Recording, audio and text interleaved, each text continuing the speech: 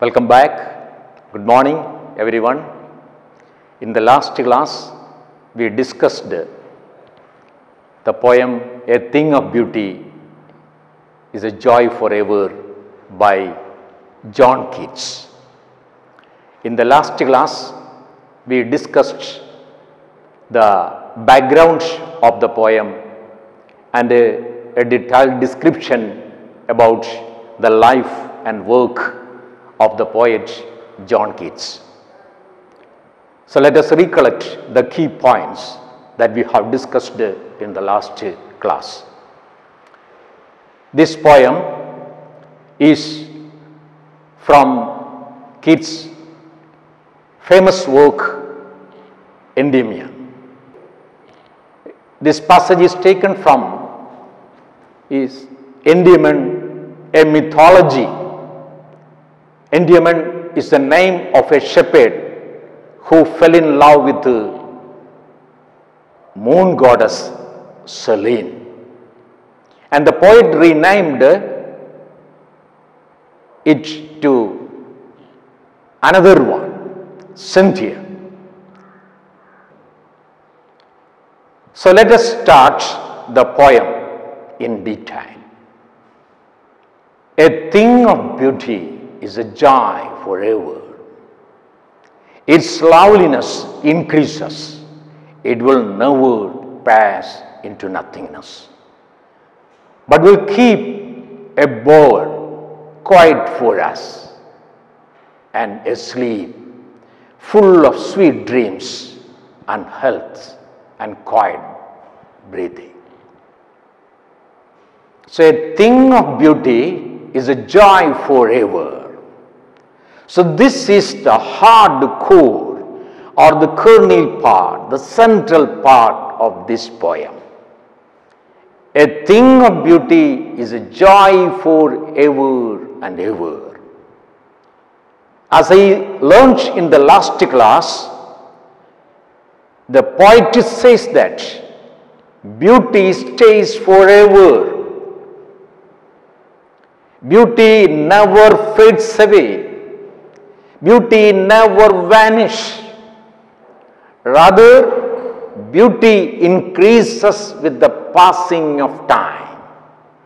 So, the perception of the poet regarding beauty is that it never goes off with the passage of time. See how nice and beautiful presentation. A thing of beauty is a joy forever and ever. And the poet in a lucid manner, in a vivid and a clear manner explains that beauty never fades away. Beauty never fades away. So you just recollect what we learned in the last class and uh, you know you go back to nature or take shelter in the lap of nature. You know, only nature can save man from ruin. Only nature can save man from total destruction. So take shelter in the lap of nature because nature is bestowed with beauty, God's blessings. So here the poet John Keats highlights that a thing of beauty is a joy forever. So you keep in mind, according to John Keats, beauty never fades away.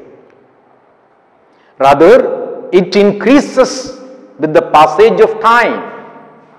So, the hard core or the perception of the poet regarding beauty is that it never goes off. You keep this point in your mind, in your innermost heart. Beauty never goes off. Beauty never goes off with the passage of time. Rather, it beautifies more and more. It beautifies more and more. For the poet, beauty is like a beautiful shady tree under whose shade all the creatures can sleep peacefully all the creatures can enjoy good health all the creatures can sleep well. So let us move to the poem. A thing of beauty is a joy forever. Its loveliness increases and it will never pass into nothingness but will keep a board quiet for us. A beautiful shade quiet for us. And it provides watch, it provides good sleep, it provides sweet dreams, it provides health. And it pro uh, provides good health. So this is what the poet says in the uh, first stanza. And if we move to the literary devices used in this stanza, first of all you can see the rhyme scheme that is the usage of nerve, key, sleep, etc. the rhyme scheme used here. And also another device used here is alliteration. You know, uh, I hope that you know uh, alliteration that is the use of a consonant sound at the start of uh, two words which are close in series for example uh, sleep, sweet etc. So uh, once again I recollect the key points that we learned in the first stanza a thing of beauty is a joy forever and in the first stanza the poet says that beauty stays forever. It it never fades away. It increases day by day. The perception of the poet regarding beauty is that it never goes off, it never vanish, it never disappear with the passage of time. Rather, it beautifies more and more. For the poet, beauty is like a beautiful shady tree. You know, a tree provides shade and a tree provides a beautiful atmosphere and uh, that beautiful atmosphere or that tree provides uh, a comfort to all the creatures and they can sleep, enjoy good health and sleep peacefully. So, you keep in mind the key points of the first stanza then let's, next we can move to the second stanza.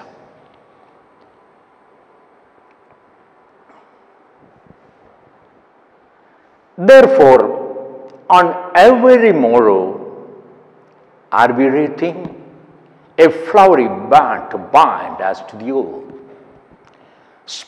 Spite of despondence, of the inhuman dearths, of noble natures, of the gloomy days, of all the unhealthy and our darkened ways, made for our searching. In spite of all, some shape of beauty moves away the power from our dark spirits. See, therefore, on every morrow, we are wreathing a flowery band to bind us to the earth. The poet says that every day it is the beauty which fills us with the spiritual life. Every day, beauty encourages us, beauty inspires us, beauty propels us for a good life. It provides the inspiration, the encouragement, the courage, the capacity and the caliber to live. So in the first in the, the first part of the second stanza, therefore on every morrow we are wreathing a flowery band to bind us to the earth, spite of despondence of the inhuman death. So, I repeat the first part of the second stanza. The poet says that every day, each and every day, it is beauty that propels us it is beauty that inspires us. It is beauty that uh, uh, provide enthusiasm to continue our life here on earth. It is beauty which builds the desire in us to live through in the midst of these sad moments. As I said you earlier, earth, you know, earth is a cruel place to live in. Innumerable problems, numberless problems, sad moments and cruel experiences surround us. And happy experiences surround us. Cruel experiences surround us. Sad experiences surround us. But even in the midst of these sad and unhappy experiences, we are moving with more vigor, more enthusiasm, more courage and capacity. Why? The poet says that even in the midst of this despondency, even in the midst of sad moments, we are moving with vigor and vitality. Why? The poet is saying only because of beauty. It is the beauty which builds us the desire. It is beauty, it builds us the enthusiasm and elan to live here. So, we face the challenges, we face the sad moments, we face the cruel people, and we face old and happy moments because we are energized by beauty. So, here the poet wants to say that without beauty, the earth will be a cruel place to live in. So, the poet says without beauty, earth is a cruel place to live in. We know if we examine the beauty of nature, if we look nature, we can see beautiful flowers, we can see valleys, we can see the twittering of the uh, uh, birds, and we can enjoy fragrance of sweet smelling flowers. How nice, beautiful, really fantastic, wonderful. And we enjoy all these things. And we all these beautiful things gives us energy, gives us capacity and caliber to face all the challenges, all the sad moments, all the cruel experiences that we face day by day. So, here the poet wants to say that without beauty, the earth will be full of cruel people, full of sad experiences and gloomy moments. So, beauty vanishes everything. Beauty removes everything. And we, when we look at a rose flower covered with uh, dewdrops, a beautiful uh, rose flower covered with uh, dewdrops, our whole mind will be transported into the realm of uh, celestial joy, inexplicable joy. And we will uh, see wonders, utopia. This flower will transport us to utopia of never, never land. Wonderful things. So, it is the beauty which is created by God. And see, made uh, in the last part of the second stanza of all the unhealthy and our darkened days, made for our searching eyes, in spite of all, some shape of beauty moves away the pall, darkness from our dark spirits. Then who created all these things? Poet says that it is the beauty which is created by God. It is created by God and here the poet to feel magnetized is lay flat in front of God Almighty because it is the beauty which is created by God, which helps us to remove the sadness from our hearts. When our heart filled with uh, sorrow or bad experiences and God's presence remove the sadness from our hearts. Who created all these beautiful things? And here we can see in a rose flower, actually a rose flower is a replica of God. As I said to you earlier in the last class, I mentioned that our God is the God of mercy. Our God is the God of compassion, intervention, mercy, amity and blessing. And at the same time, this God is a powerful God, omnipotent God, omnipresent God, all powerful God, almighty God. And that God is not a mere God, that God is the creator of the whole universe. That God is the creator of sun, moon, Uranus, Neptune, Pluto. And He is not a mere God. So, that God blesses, that God creates these beautiful things here on earth. So, the poet says it is the beauty which is created by God helps us to remove the sadness from our hearts. It will wipe out the sadness, pain and agony from our hearts.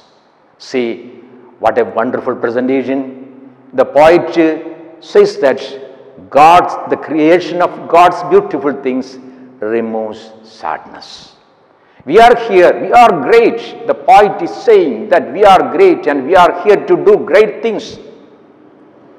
And we can do great things if we are focusing on the beautiful things created by God. And don't look at the negative things, but instead look the positive things, beautiful things created by God and if we look on these beautiful things created by God, it will propel us, it will en, uh, uh, charge us, encourage us, ignite us for what? To enjoy the beautiful things. So, actually, the poet is providing a positive energy, injecting positive energy. So, he is injecting positive energy to the readers. So, let me recollect the key points that we learned in the second stanza. So, listen. Therefore, on every morrow we are reading. Are we reading? A flowery band to bind us to the earth, spite of despondence, of the inhuman dearth of noble natures, of the gloomy days, of all the unhealthy and our darkened ways. Made for our searching, yes, in spite of all, some shape of beauty moves away the bar from our darkness. So, you keep the main points in your mind.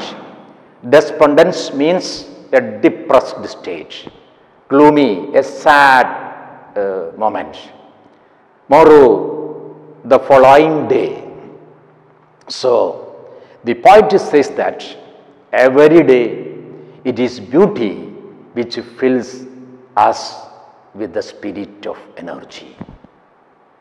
It is beauty which builds the desire in us to continue our life, to overcome sad moments, and to face cruelty brutalities and atrocities from the part of these cruel people around us. So, here the poet wants to say that without beauty, the earth will be full of cruel people. Without beauty, the earth is a cruel place to live in. Without beauty, the earth will be a very sad and gloomy place to live in. So, here the poet asks the question, who created all these beautiful things?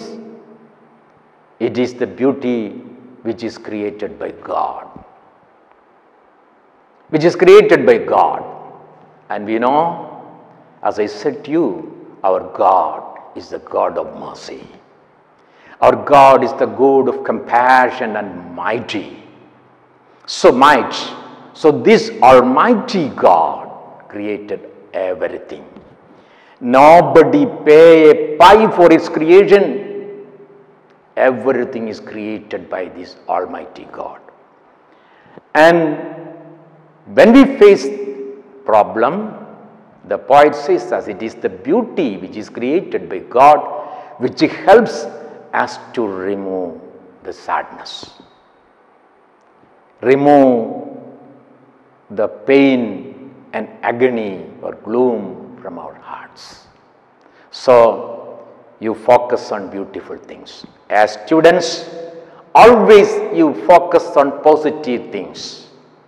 Always you focus on beautiful things. Always you follow beautiful things. And if you follow the beautiful things created by God, beautiful things, virtues and other values, definitely you will climb the ladder of success and reach the pinnacle of success. Instead, if you are focusing on negative things, if you are focusing on negative aspects or evil things, surely you will not achieve success. Instead, you will fall into the abysmal pit of despondency and you will perish. So, what we need is beauty. What we want to focus beauty because the creator gives this beauty as a panacea to overcome all our ills. So my dear students, you focus on all things, keep the key points in your minds. Let us move to the next stanza.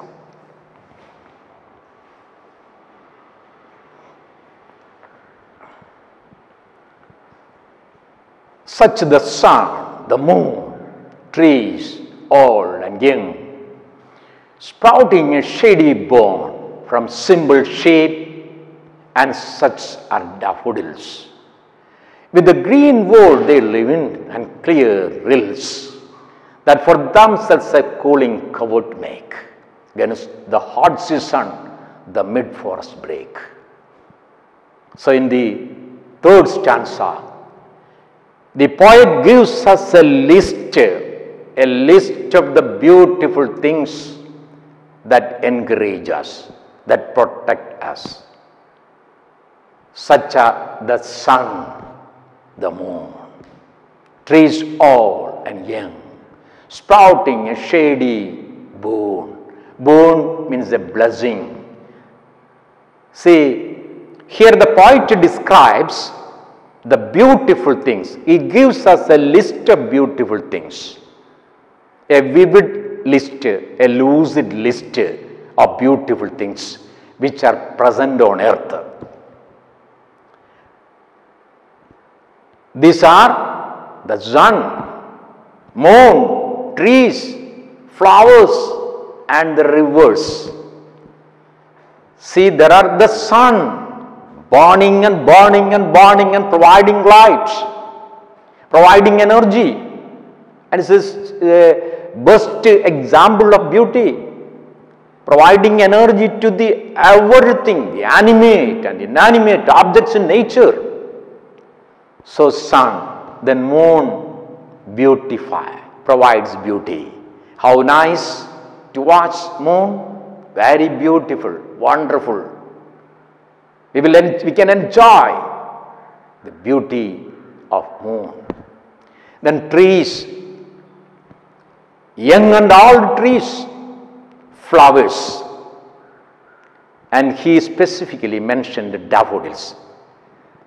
I hope that all of you remember the first generation poet William Wordsworth's poem Daffodils. And in, uh, in the last class, we have mentioned, we already mentioned uh, that uh, poem. So, daffodils, flowers. When we are in the midst of these daffodils or uh, flowers, surely our whole mind will be transported into joy. And here the poet uh, mentioned the beautiful things. You keep in mind sun, moon, trees, flowers and rivers. All these are the beautiful things. And if you are observing all these beautiful things, sure, we will say fantastic, marvelous, wonderful. Such words will be spontaneously comes out from our innermost heart. Because all these things are beautiful.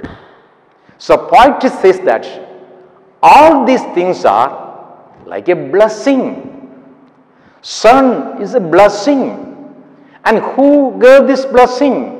I said to that uh, our God is the God of blessing. Our God is the God of blessing and the God of blessing bestowed this sun.